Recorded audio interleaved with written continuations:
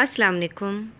This is Talk to Farina Najam from Division of Arts and Social Sciences, University of Education, Lower Mall Campus, Lahore. The course title is Advanced Landscape Painting and the course code is Fine 4135. Today our topic is about encaustic painting. Dear students, this is a practical topic. First of all, I would like to explain about encaustic painting.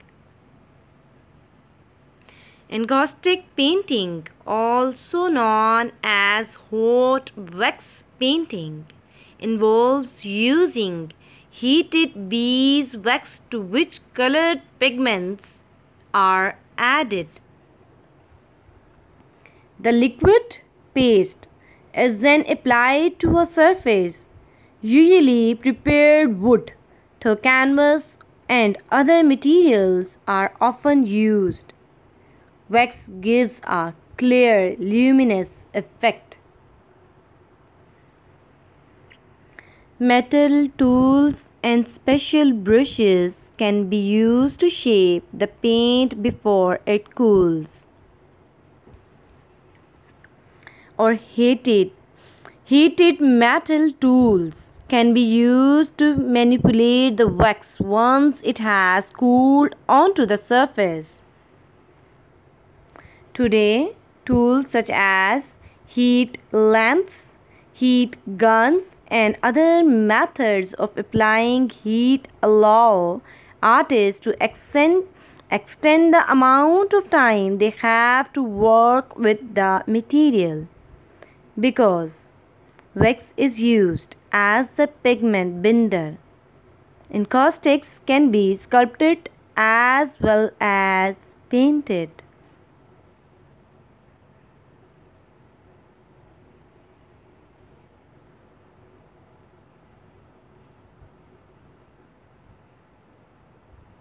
Some examples of encaustic painting.